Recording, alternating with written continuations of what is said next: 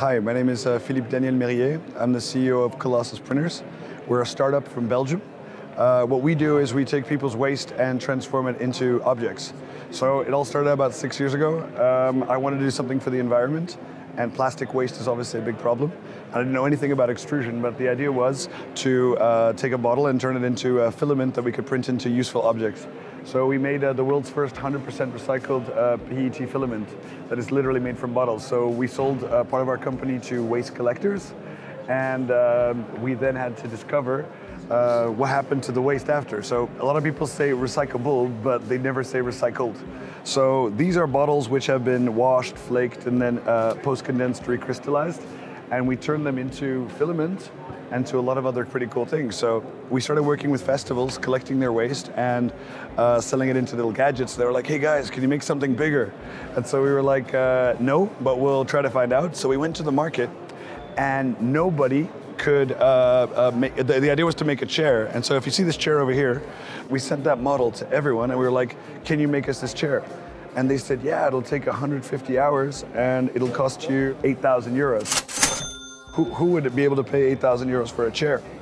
So my engineers got together and they pretty much said, you know what, we're just gonna make it ourselves. Now this is a five millimeter nozzle and it's made out of recycled uh, PET mixed with 20% carbon. So a bit like you would see in filament production. And it can hold 400 kilos of weight just because of the line.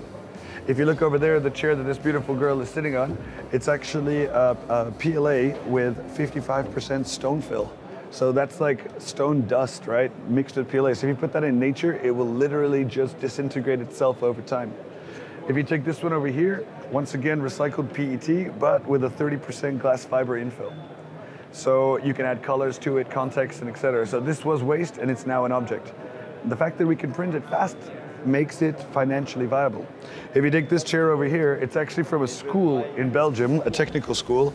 We printed 150 pieces of furniture for the school, so the library desk, the context, and all the students had to gather the waste together and we used it uh, to then make these objects. Um, so when you, when you take the, the next step, would be uh, tables, context. We, we work with designers because we believe that we can break down the barrier of entry uh, for designers by not just having them draw an object, but by literally selling the object. I mean, you buy one, you can sell one. If you take an injection mold, right? Uh, an injection mold for something like this would cost around 250,000 euros. Plus, we can do shapes that you can't do in injection molding. So no designer has that kind of money. This enables him to just make one and sell one. If you take, uh, the next step was these panels. So we work with a great German uh, architectural company called 3F Studio. This is 2 million lines of code. And the, it's made out of recycled PET. Now it passes business code specs and they use computational design to not only do these cool, like this is a desk, there's a bench over there, and if it's in one panel, it actually supports itself but they actually use uh, uh, these panels to create smart facades that integrate a lot of context. We got in touch with Vision Miner because basically you can see that we're using a seven millimeter nozzle on a very long output. Now already on small printing, warping is an issue. Imagine the force that is going to be necessary uh, for a 100 kilo object. It's, it's equivalent to around 100 kilos of force pulling up to the sides. We tried every glue on the market that did not work we called Vision Miner and we were like, your glue looks really cool. Can we try it? And I don't know, I think it was a night in the States. Called them up. They were like, uh, what do you guys do actually? They're like, okay, that's what you're doing. They're like, all right, fine, we'll send it over. And like two days later by express, we had the glue. We put it into operation and it's all we use on these panels. It's like a daddy's little helper, if you will. If you know it, you have already seven brims, but you still are, you know, don't want to waste uh, this much material, we put that together and, and that's how it works. So we're really grateful to, to have met them. On the other side, if you take the recycled materials, we work with everyone. So this is Oceanics uh, plastic, which is actually plastic fished from the sea. Um, and then we compound it with our partners Mitsubishi Chemical uh, into something you can sit on. Uh, here you got shoes. So these are actually uh, uh, uh soccer shoes. Oh. And it's 90% pure TPU and uh, we, we had to reduce the amount of, uh, um, you see the colored parts are actually caoutchouc.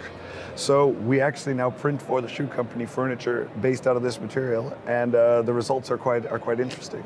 So um, really the idea here again is to, if we, uh, when you do filament printing, filament printing is quite expensive because the material is expensive. If you take resin printing, it's about uh, $100 a kilo. Now, if you have to make a chair and it's going to be 20 kilos and it's going to cost you $100, even $40 a kilo, it'll never be financially viable. But when you're buying recycled pellets, your price point will be in between 2 euros and 10 euros, and your output's 20 kilo an hour. So the crazy part about it is that now finally this is financially viable. Uh, and we can create amazing objects by reducing plastic pollution in the world. And all these designers work independently. We're trying to create a platform to bring them together to create their jobs and industries based on the waste that is generated by their towns. Imagine the cities, imagine the, the outputs, the festivals. We, we work with all different kinds of people, and we really want to empower them to take their waste and turn it into useful objects. So that's what we do here at Colossus. So the, the, the final uh, idea or point in, in the context is, since we worked with festivals, like we said before, uh, we built our printers in uh, transportable uh, uh, containers so they can ship anywhere in the world. You plug them in, it works. So for a festival, we'll literally drive the printer in, print an entire terrace, and then leave.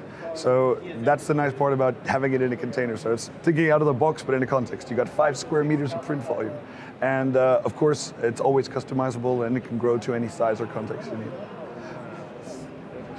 Uh, this is a cool uh, um, uh, concept we, we, we, developed. So the idea here was to uh, take mathematical geometry. So we've got three different actual sizes. Uh, they all fit into each other.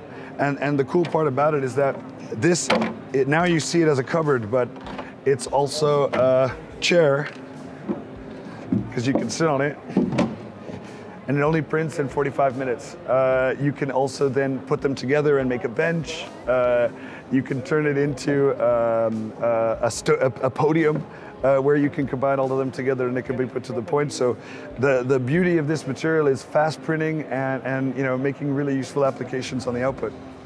And the last object we want to show you is imagine this lamp in your uh, in a reception desk or a context. You can play with colors, play with outputs, and this entire object was printed in around eight hours. You see them on the small printers, but on the big one, it, it changes a bit the context of what, what, we can actually do.